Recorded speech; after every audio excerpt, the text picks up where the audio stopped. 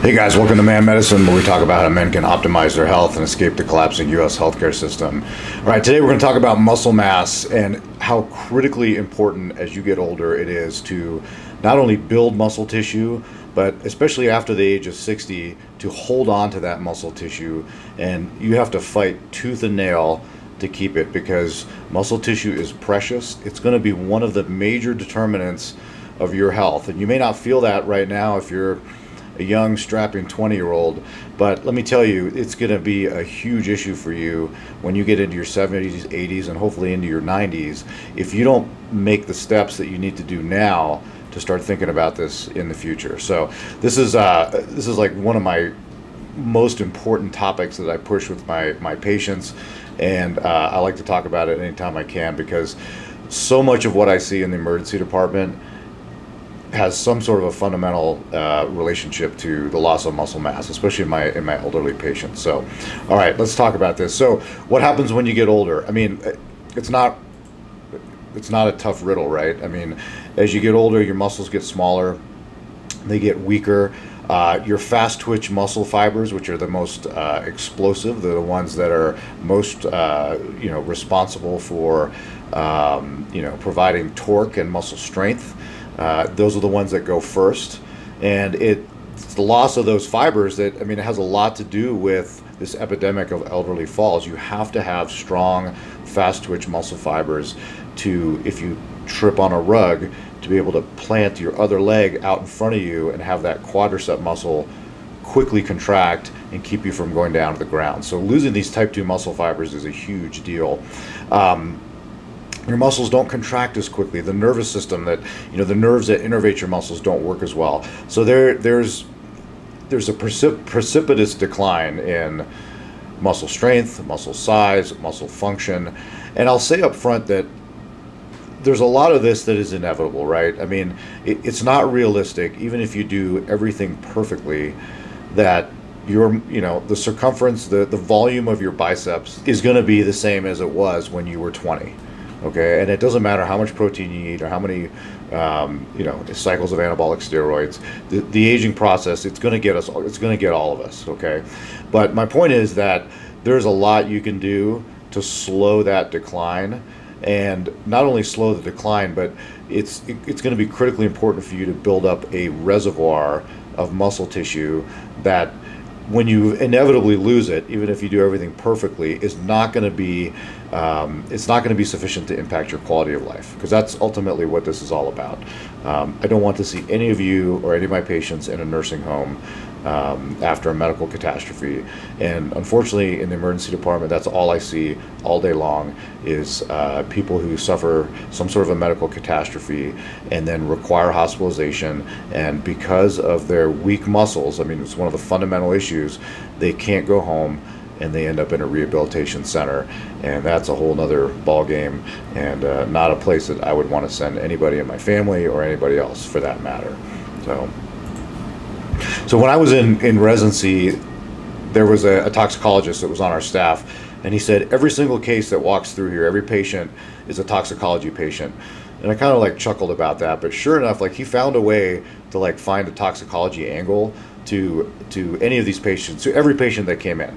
And I was always amazed that he could do that. But what I do with my medical students is I, I can find a muscle strength a sar- or slash sarcopenia angle to almost every patient that comes in the emergency department, um, and and it's actually it's a lot easier than it is than it was for him to find toxicology angles because sometimes it was a bit of a stretch. But the the things that I see in the emergency department, you know, from sepsis to trauma to uh, especially like elderly falls as part of trauma. I mean there's almost always a fundamental issue uh, with that patient in terms of muscle strength, and it's uh, it's it's it's usually glaringly obvious. This is where we're gonna. This is the paper that I'm going to review here, and, and most of the information I'm going to show you in regards to muscle tissue is going to come from this really good article, Current Opinions in Clinical Nutrition and Metabolism Care, 2004. It's from July. Muscle tissue changes with aging. So it's a really nice review, even though it's a little bit old. Um, you know, this these changes, these aging related changes, have we, have known about this for a really long time, and we've worked out a few additional details. But the fundamentals, um, we've known these for a long time. So no matter what your age is, there there's always this balance within your muscle tissue of muscle breakdown and muscle building, you know, or anabolism versus cat- uh, catabolism. And ideally, you want to have the anabolic uh, effects to be uh, superior or predominant over the catabolic effects. But um, you know, at the very least, you want to be in equilibrium. You don't want to tip that anabolism down and have uh, catabolism to be the predominant feature because that's that's what's going to end up costing you muscle tissue. But that is inevitably what happens as you get older, and um, and and even if you do everything right, there, there's going to be some component of that. But this is something that unfortunately especially if you're just if you just do what the average american does you're going to be burning through muscle tissue at an accelerated rate. As i said there there is a inevitable decline but one of the major reasons that older people start losing muscle tissue is they start developing these comorbid conditions that like greatly accelerate the process. And this can be type 2 diabetes which um, you know because of its lipotoxicity uh, I have another video on that if you want to know about lipotoxicity. Um, visceral body fat, the, uh, the pro-inflammatory nature of visceral body fat, the way that it infiltrates muscle tissue, um, is directly toxic to muscle tissue. It, it greatly accelerates the, the catabolism of muscle tissue. Um, chronic kidney disease, COPD is a big one. People that develop like cancer, so you know cancer cachexia or cancer wasting is um, is something that I think even the general public, you know, is kind of is, is aware of. It's really tragic. Um, you know, people become sometimes unrecognizable. You know, they get a, a cancer diagnosis, and a year later, uh, not only from the metabolic effects of the cancer, but the chemo and the poor nutrition that goes with it, you know, it's not uncommon for them to drop like 60, 70 pounds of uh, and become really weak just from muscle tissue loss. So the normal rate of muscle loss, this is a good graph here.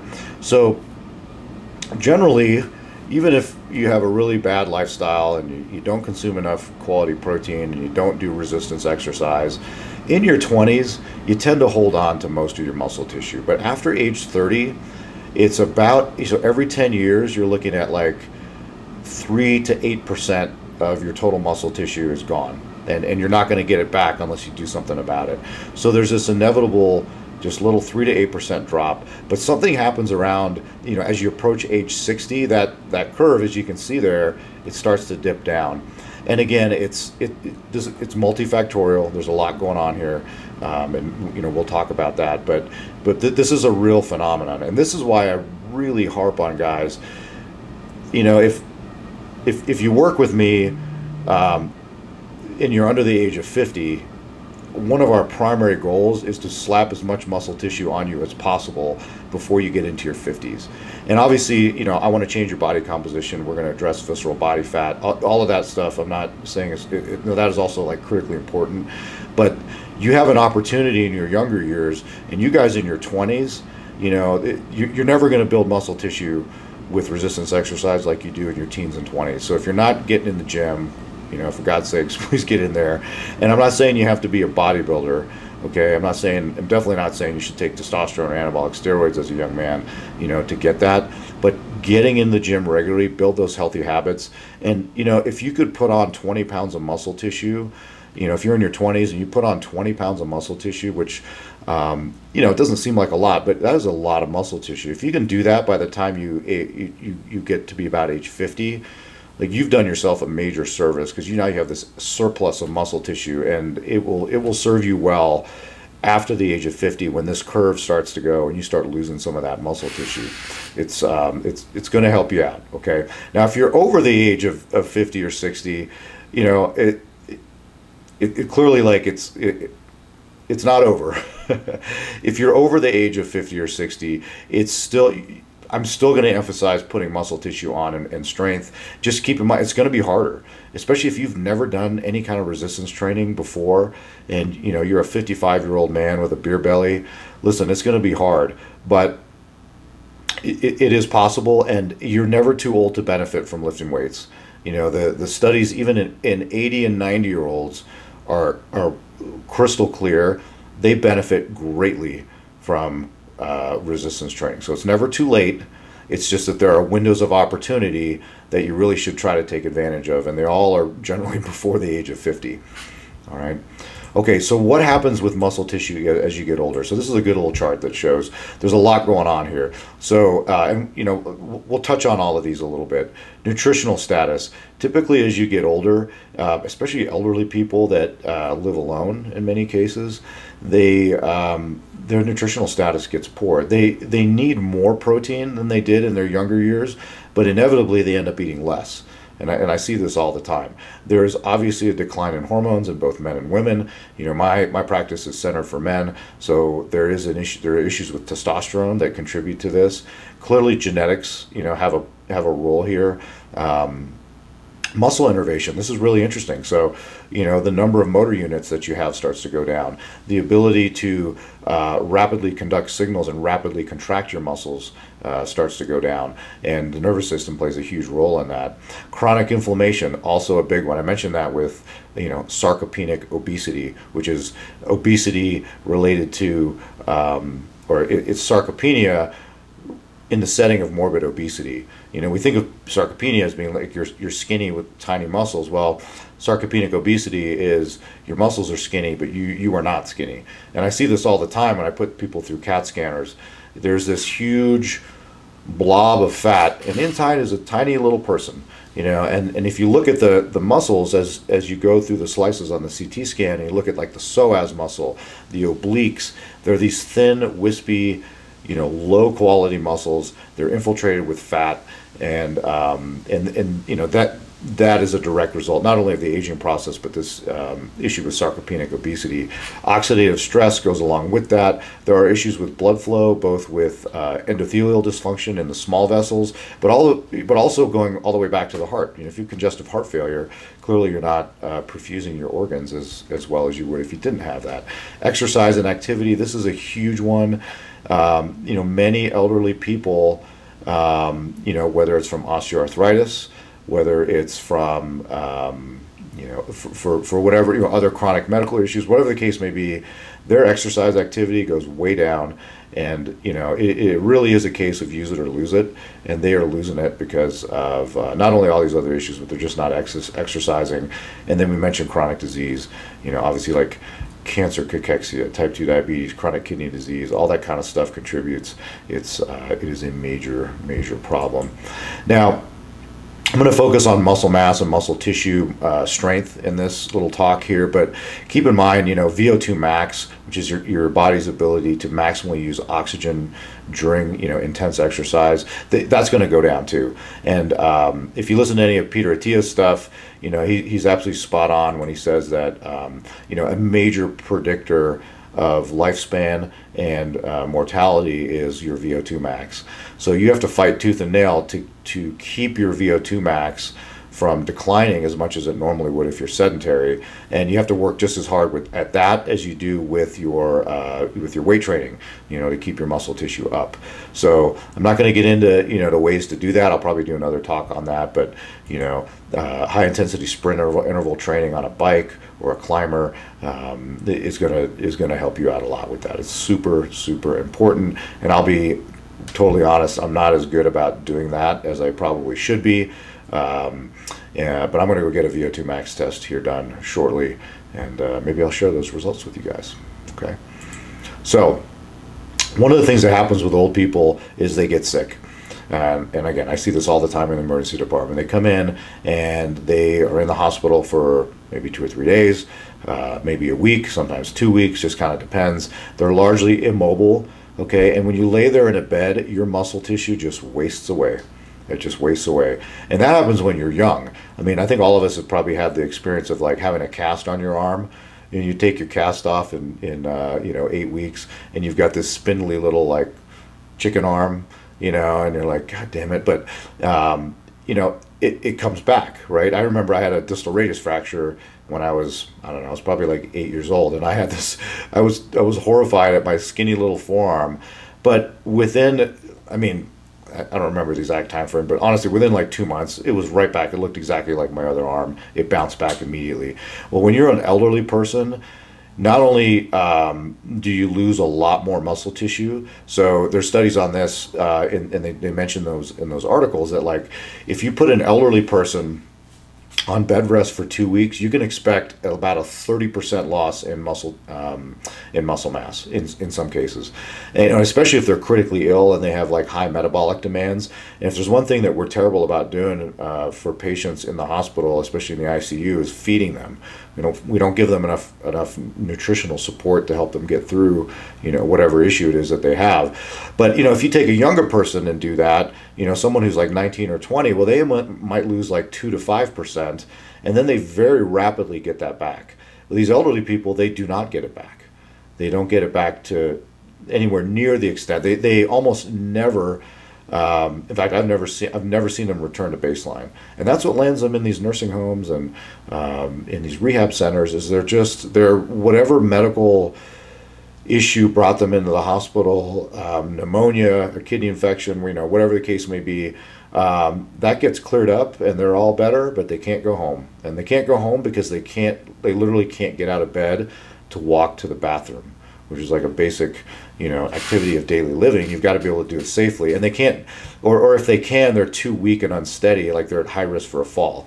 So we send them home. You know, we don't want them to fall down and like have a hip fracture. Uh, so they end up in a rehab facility, and those are terrible. You know, you don't want to go there. So this is a good chart here just showing some of the many changes that happen and there's two different pathways you can go down the unhealthy pathway or the healthy pathway um, some of the you know, these changes again, a lot of these are inevitable, but that doesn't mean that they're not modifiable. Okay, so you know we have you know you, lose muscle tissue, uh, and specifically you like the number of muscle cells that you have is less. The number of satellite cells which merge into uh, your muscle tissue or your, your active muscle cells to help with you know hypertrophy and things like that. Those go way down. Muscle twitch time. So I was talking about your you know your motor units and your nervous system. Your twitch time goes down. Um, the sarcoplasmic reticulum, which stores calcium, super important. You have to release calcium and you have to do it quickly in, in, in sufficient quantities to have a good strong muscle contraction. Well, the volume of the sarcoplasmic reticulum goes down. So you're releasing less calcium, and you know, and of course, you have a less uh, powerful contraction. Um, fat infiltration into in and around the muscle tissue, which is directly toxic to the uh, the myocytes themselves. I kind of touched on that before with the sarcopenic obesity. That's a big thing. I see it all the time on on CAT scans. It's um, it's it's actually kind of frightening um, what happens with that. So again, we talked about aggravating factors. Um, hormones are, are a big one. Uh, you know, we're going to focus on testosterone in men, but you know, w- women obviously have pretty serious hormonal changes. There are drops in IGF-1, and uh, you know, obviously, which is related to growth hormone. Poor physical activity, poor nutrition, especially in the area of protein intake, development of chronic inflammatory disease, visceral body fat. This is like the toxic soup that's it's just a setup for muscle tissue loss and poor quality of life. So, speaking of poor quality of life, okay, so th- this is a really great little slide here that comes from that article. So down here in the red, this is what you, you clearly you don't want to be in the red. You don't want to be in the yellow either. Um, this is disability loss of independence. So so this is somebody that requires full time care, uh, usually in a nursing home. They they cannot take care of themselves. Maybe they've had a stroke. You know, they literally they they are in a diaper. Many cases they can't feed themselves. This is a horrible place to end up, and sadly, there's a lot of people that spend quite literally like the last ten years of their life in this miserable uh, state where they have total loss of independence, and it's it's like the quality of life for them is is horrible. But the one above it is not a heck of a lot better. Now, sometimes these these frail elderly sarcopenic people in the yellow group they can just get by. They can do their ADLs. You know, they can cook for themselves. They can, um, you know, get up and use the bathroom. You know, if they wanted to go on a hike with their grandkids, that's out of the question. Okay, that is not going to happen. Um, you know, anything anything more physically demanding than just the basics of like getting up and down from the couch, cooking a meal for yourself, you know, that kind of stuff. Anything more than that is is probably not going to happen for them. And then in the green, you know, you want to be as high as you can, obviously, in the green. So let's focus on this gray, this gray line here. So this is what I see every day. This is the typical American. This is this is the typical American, and you know they they are doing everything wrong. So uh, in many cases, they are coming out of the womb obese. So you know they're obese toddlers, and you know they eat nothing but junk food. They don't exercise. They play video games And you know, not surprisingly, that curve, the inflection is way down. So they're they're on a straight shot right down, and they make it to a certain point here and then they suffer some kind of a medical catastrophe, like I was alluding to before. I don't know. It could be anything. Let's just say it's uh, you know they get a bad COVID infection they end up in the hospital for two weeks. Well, boom, they they take they plunge down into the yellow zone, and then you know through the miracle of modern medicine, we save their life, and we help them get out of the yellow zone into the green. But man, they are nowhere near where they used to be. But you know, at least they're in the green zone, right? But here's the thing the aging process continues, their bad habits continue, they continue losing muscle tissue, gaining fat, um, not doing what they're supposed to be doing, and then inevitably they end up down here into this yellow zone. They have another medical catastrophe. Now we have to work even harder to get them back, but they, they're, they're not getting back in the green zone. They're done. They're done. And then they're going to tool along here in the yellow zone for, you know, who knows how long until the next catastrophe comes along, whatever the case may be, usually an infection, maybe a fall, and then at that point they're done. They're down in the red zone. They're not coming out, and it is a straight shot down. And you know when, when that curve hits the bottom there, that's death. Okay, so uh, the green line is is somebody who's really doing a good job. So that you know th- this is the person who you know, uh, maybe grew up in a family that, uh, you know, emphasized good nutrition and exercise like I did. And uh, they do not allow themselves to become obese. They stay relatively lean. They engage in a lot of physical activity. It doesn't have to necessarily be weight training, but, you know, they're out, they're doing stuff. They're engaged socially. That's really important for older people. So they've got a, a really supportive family and a social circle. So they, they get to stay in the green zone for a long time and they can weather these little catastrophes that come along and still bounce back. You know, w- when they get pneumonia, they get to go home when their pneumonia's done because they still got some reserve and, and, they do okay. But you know, inevitably, aging is aging, and they and they go down to, and eventually they're going to end up down in this yellow zone here. Now, this not so straight blue line that I tried to draw, it's hard to draw a straight line with a mouse. I'm not that savvy with Photoshop, but um, I know you can do it. I just I'm just not good at it. Um, you know, this is somebody who we can say at an early age really took this healthy aging thing to heart and had a you know not just a good diet but a really like top 5% diet. This is somebody who is hitting the gym regularly engaged in sports has all the you know obviously the good social circle and all, all that. They're basically they're doing everything perfectly. Well their curve stays really flat for a really long time. And they can handle anything that comes along for the most part. And then inevitably you know all of us nobody gets out of here alive, right? Even if you do everything perfectly, eventually they're going to drop off that curve. And uh, but you know, but they they typically live longer and they live a full, rich, high quality life. Okay, so um, let's look at so these I, I, put in these little blue arrows for you guys.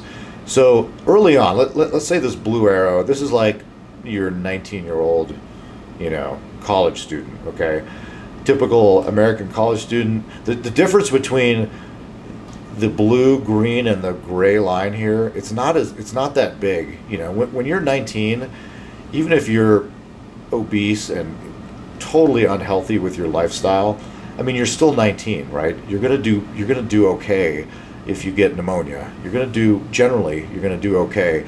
Now, you're not gonna do as okay as some of these other people, but uh, you know, like you'll you'll be okay.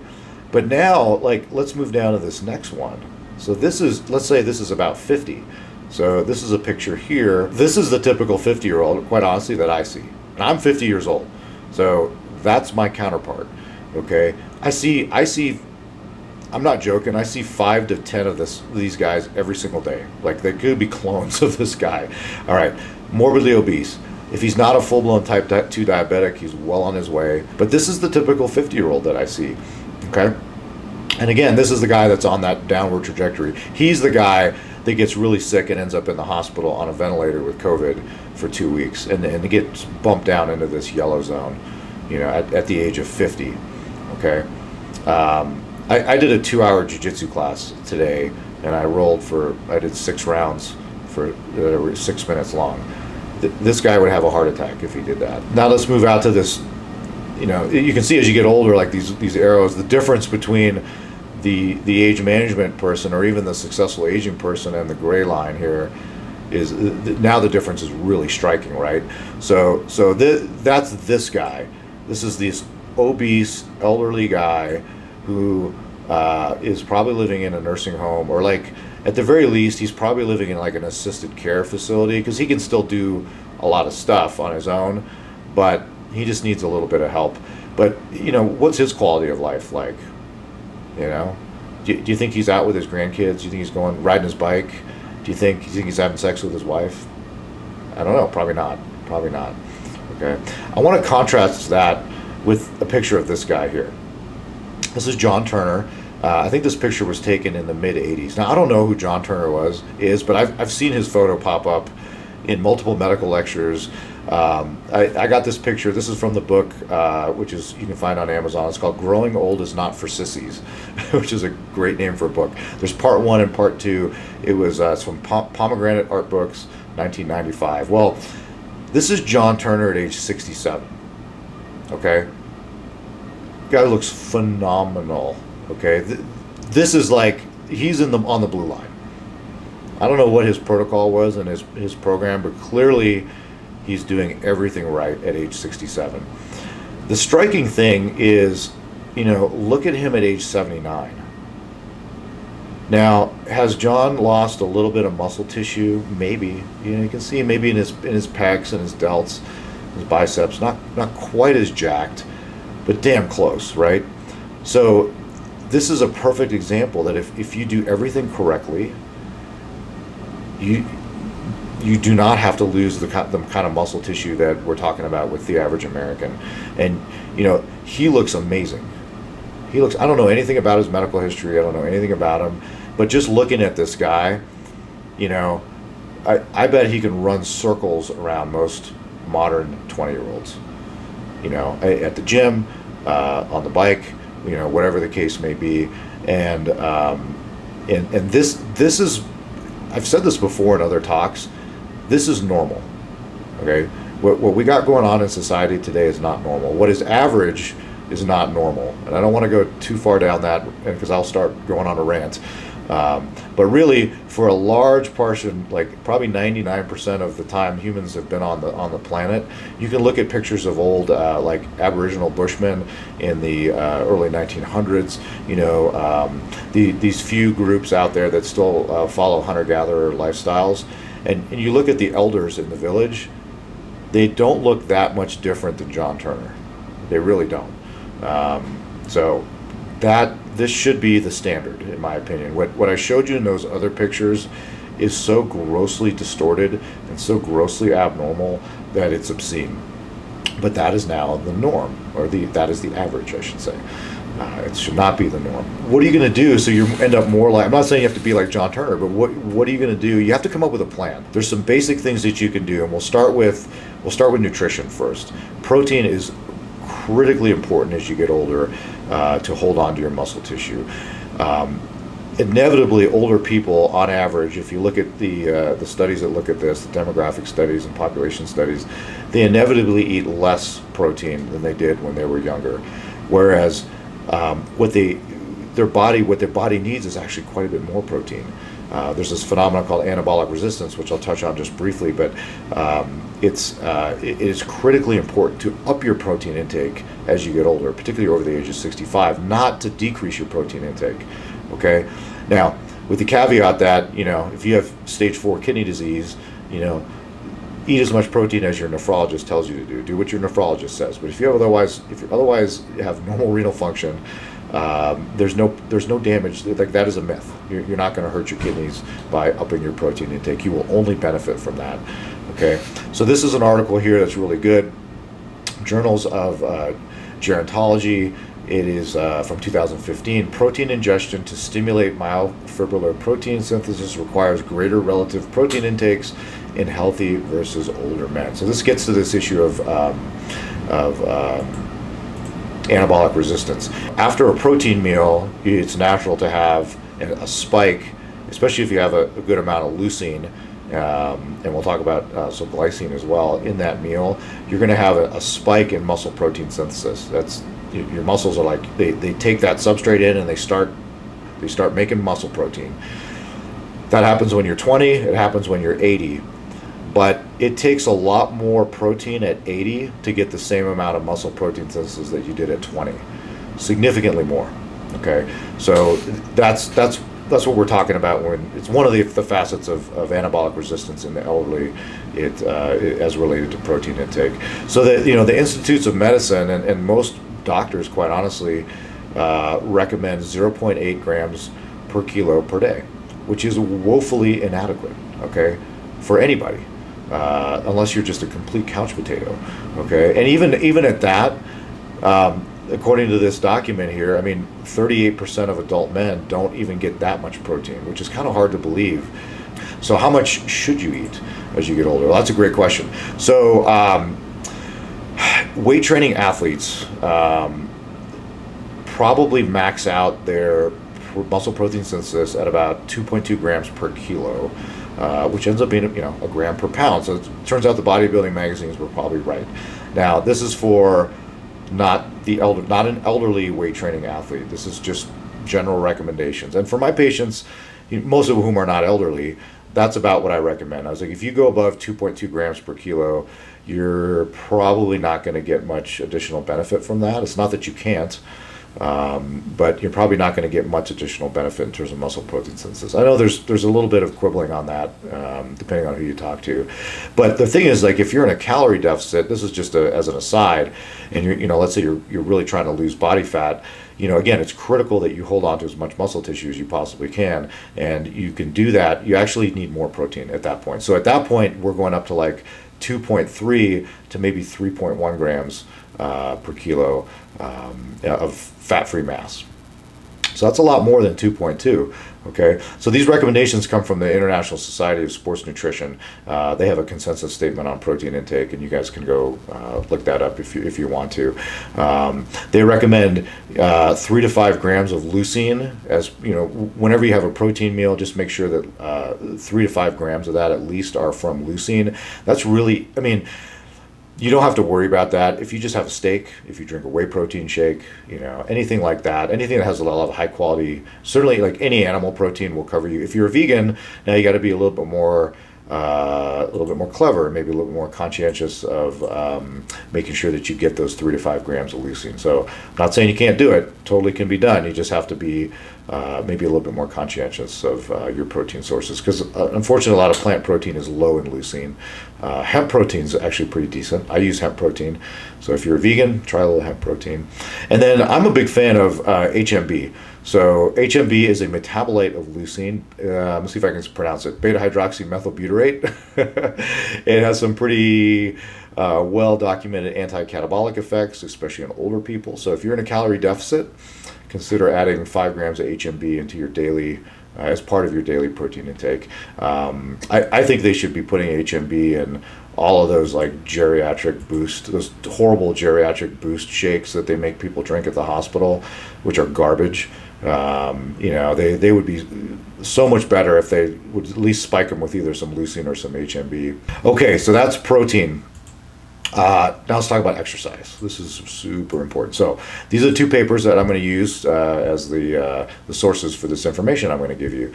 Okay, this is the effect. First one: effects of exercise and aging on skeletal muscle. Also, really like solid review. This is in uh, the 2018 edition of Cold Springs Harbor uh, Laboratory Press and um, it's really really good. Uh, this is another really excellent one that uh, I'm going to show you a really cool MRI picture that came from this one. So this is a chronic exercise preserves lean muscle mass in masters athletes, and specifically they were looking at triathletes. This comes from the Physician in Sports Medicine, which is awesome. It's a totally awesome journal. I've been reading this one since uh, I was in medical school. Uh, it's, it's, a little bit older, 2011, but it's uh, it's, it's it's a good one. It's a good one. So okay, so this is the picture that I want to show you guys, and this is another one that like makes the rounds in in the world of medicine. Like in um, you know whenever there's a talk about sarcopenia or something like that, like this this this picture keeps showing up. So I've seen this like many times over the years, but it's it's really profound. So they looked at a whole group of masters triathletes uh, ages like 40 to uh, I think 40 to 81 in this study, and, and this is an MRI. It's a cross section, So, um, and you know, you can see similar pictures on a CT scan, but the, they used an MRI. So th- these are the quads of a 40 year old triathlete. In the middle here, that white dot, that's their femur. So what do you see here? You see a lot of good, really healthy looking muscle tissue, a tiny amount of subcutaneous fat around there. You don't see a ton of fatty infiltration at all. Uh, this, this is like high quality muscle, right? Looks good, which you'd expect in a 40 year old triathlete. Well, what does a 74 year old couch potato look like? Wow. Major difference, right? Look at this. It's, all of this white stuff is fat. This is all fat. Okay. And not only do they have an excess amount of fat, you can see it infiltrating into the muscle tissue itself. You can see it just kind of bearing itself, like working its way through there. And look at the, I mean, you can just tell the quality of the muscle tissue is really compromised in this guy. This is, this is not good. Uh, and again, this is what I see every single day. Every time I throw an elderly person in a CAT scanner, uh, this is what I see. And honestly, these days, uh, this is when I throw a 45 year old in a CAT scanner, this is sometimes what I see. But the take home message here is this bottom one, okay? This is a 70 year old triathlete. You know, and if I didn't tell you that, you'd be like, that looks just like the 40 year old triathlete. And it's because it does. So, you know, an active 70 year old triathlete um, can maintain muscle tissue, and that's exactly what that study, the study that I, the one I cited to you earlier, it's exactly what this showed. So yeah, they looked at 40 to 81 year old athletes. They measured quadricep strength. They looked at the volume, you know, on a CT scan, and it was really interesting. There was not a huge difference in quad strength uh, in these athletes from the 40 year olds right up until about the 60 year olds. So the 40, 50, up to 59 year olds all had roughly the same amount of muscle volume and the same amount of quad strength. So pretty impressive. There was a little dip at 60, which, you know, goes along with the chart that I showed you previously. But the difference between the 60, 70, and even the 80 year olds was not statistically significant. So yeah, there is that inevitable dip that I mentioned, but it doesn't it's not like they just continue to plummet after age 60 at least according you know to this article which i'll show you this little chart here which kind of goes along with that there there was not a huge difference that was statistically significant anyway between the 60 70 and 80 year old groups in here. And you can see that here um, this, this is both you know they looked at both men and women actually. So if you look at you know 40 to 59 they're kind of a little bit more clustered in the like upper left quadrant there and then you know the 60 through 70 plus you know all the way to 80 is clustered a little bit kind of in the bottom right there. Um, but again not not huge differences right? Pt is t- is peak torque okay? So it's a measure of you know essentially how strong their, their quads were.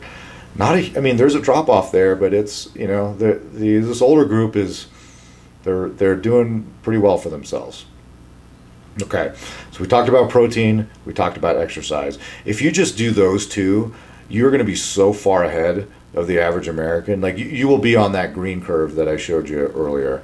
Um, the the way to get up to that blue curve in many cases is to start paying attention to hormonal changes and maybe some of these other molecules that are in the pipeline we'll talk about briefly okay? But maintaining a healthy level of testosterone and you guys have watched this content uh, and, and you, you, should be aware of that. Uh, as you get older this is something that you should probably keep an eye on. Now the, the good news is is that if you do everything that you're supposed to do in the nutrition and exercise department you can maintain a solidly um, healthy, normal, robust testosterone level way up into your 60s. I, have seen it on a number of occasions, but um, you know there may be other medical issues. There may be other things that you know compromise that. So it's something you just need to be aware of. Sometimes your your total testosterone level won't really change that much as you get older, but as part of the natural aging process, your SHBG, steroid hormone binding globulin, which binds up the vast majority of your testosterone, that naturally rises, okay? So you'll get a, a, drop in the free testosterone level, which does correlate pretty well with symptoms. So just make sure that, uh, you know, if you're an older guy, well, if you're anybody for the most part, but if you're an older guy especially, um, and you want to go get your testosterone checked by your doctor, just make sure that they do a total and a free. If you just want it, that way you have a complete picture of what's going on, because every now and then you can get fooled by that. I know that's not generally in the guidelines, but uh, if you really want to know what's going on with your testosterone, you got to get it free.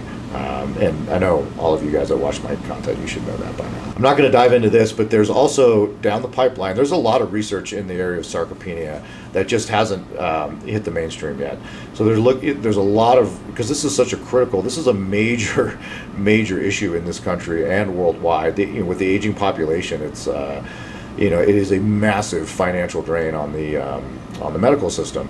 So, you know, there, there are pharmaceutical companies and uh, you know university researchers out there looking at ways, uh, and they're trying to discover these you know alternative anabolic agents, things other than testosterone, to see if we can make a difference in people. Things like follistatin, and I'm not going to get into that, but uh, kind of interesting. Okay, real briefly, I want to touch on. there's a few things that are a little bit fringe, I'll admit, but uh, you know have some reasonable data, and um, they are uh, ACE inhibitors and angiotensin receptor blockers, which are standard. You know, they're very commonly used uh, blood pressure medicines. Been around for decades, extremely safe.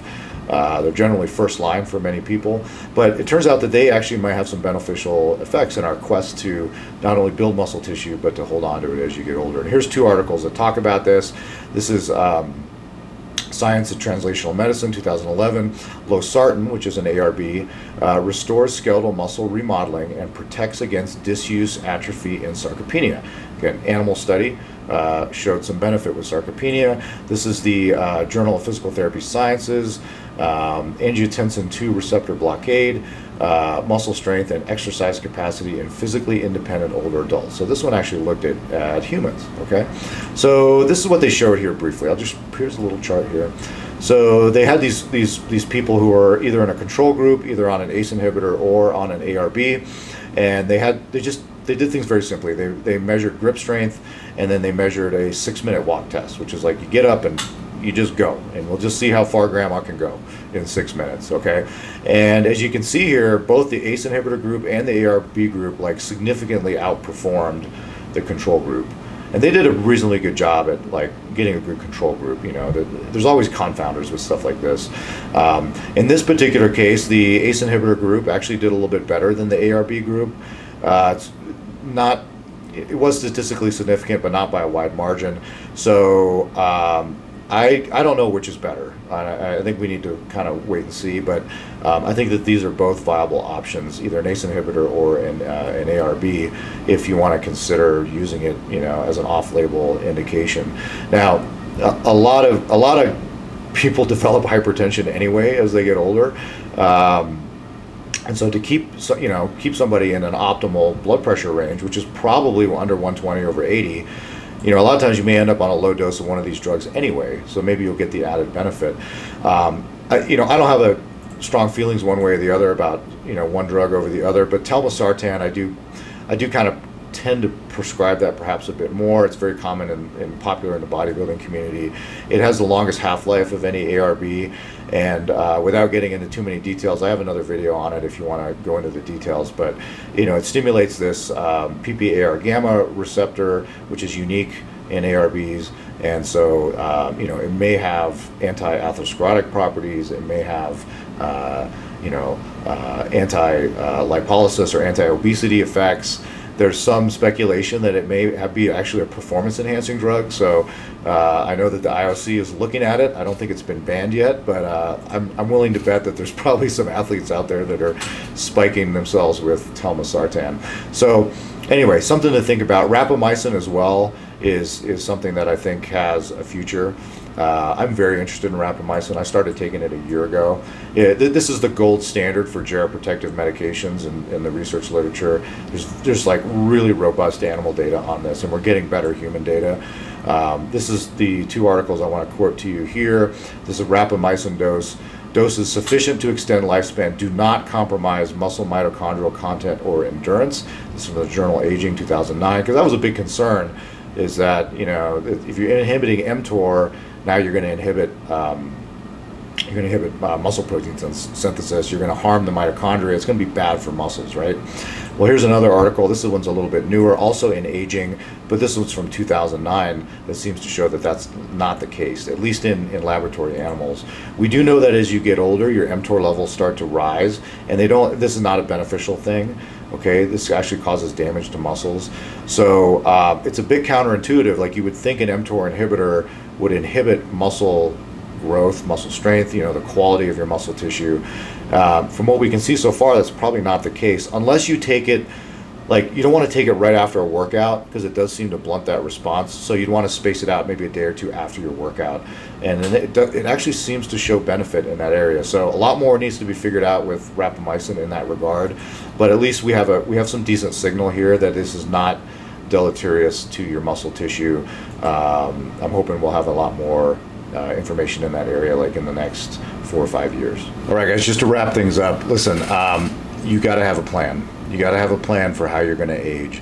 And a, and a huge part of that is going to center around when you're younger, like ideally, you know, under the age of 50, you're going to really focus on putting on a, a substantial amount of quality, healthy muscle tissue. I'm going to do it in a healthy way, okay? And then as you transition past the age of 50, uh, especially when you get into your 60s, you're going to have to not only continue what you were doing before, you're probably going to have to double down, uh, increase your protein intake, and you're going to have to fight tooth and nail to hold on to all of that muscle tissue that you work so hard to get. It doesn't get easier as you get older, guys. It's just how it is. But it's totally worth it because, again, on that that chart I showed you, you want to stay out of that yellow and red zone. You want to stay up in the green zone where you're doing everything that um, everything that you want to do, you know, and enjoying life in your 70s, 80s, and into your 90s. So to wrap it up nutrition's got to be good. Make sure you have good, high quality protein, minimum 2.2 grams per kilo. If you're in a calorie deficit, it's probably going to need to be higher. Uh, if you're an elderly person above the age of 65, it may also need to be higher. You've um, you've got to lift weights. I mean, I, I don't. It, it's not optional in my opinion. If uh, if, if you want to if you want to have a healthy, long, functional life, some kind of resistance training. You don't have to do hardcore high intensity you know bodybuilding training like I've done or competitive powerlifting but you've got to get in the gym uh, well either a commercial gym or you know you can do it at home but you you've got to you've got to move the iron. It's um, I, in my in my program it's uh, non-negotiable. Like it's if you don't want to lift weights then I'm I'm not the doctor for you. Okay. And then keep tabs on your hormones if you get to a place where uh, you and your doctor think that you know starting testosterone therapy, uh, whatever the case may be, uh, is in your best interest, then yeah, by all means, you know, do that. Uh, it, it, will probably pay dividends for you uh, down the road. And as I mentioned, there are some really interesting. This whole field of like geroprotective agents, things like rapamycin, maybe ACE inhibitors, ARBs. Uh, there are a ton of other ones out there that have some evidence and that are in the in the in the pipeline that uh, you know maybe they have the potential to revolutionize this field. So uh, we'll just have to see. Okay, guys, that's all I have for you. I'd love to hear what you think about this. Uh, if you're one of my listeners and you're in your early 20s, uh, get on this. Like the earlier you start this, the better. If you're one of my listeners in your 60s, then you really need to get on this. It's not too late um, to make those kind of changes. If there's anything I can help you with, you can reach out to me. I'm happy to do that. I do consults all the time, um, and uh, I'm always always eager to hear from you guys. So have a good one. Have a good weekend. I'm closing things down. I'm going to the emergency room. I got to work a shift. All right. Bye, guys. All Man Medicine video and audio has been created and shared online for informational purposes only. This podcast does not constitute the practice of medicine or professional healthcare services of any kind, including the giving of medical advice. I am not your doctor. No doctor patient relationship has been established. This content is not meant to be a substitute for professional medical advice and should not be relied upon solely for that purpose either. The only purpose of this content is to present peer reviewed, research backed health information for your consideration. As always, rely on the advice and guidance of your personal physician before undertaking any activity presented here, and if in doubt or not comfortable with said activity, practice discretion. Your health is your responsibility and not ours. Finally, I take conflicts of interest seriously. I accept no compensation whatsoever from any private corporations, including pharmaceutical or supplement companies.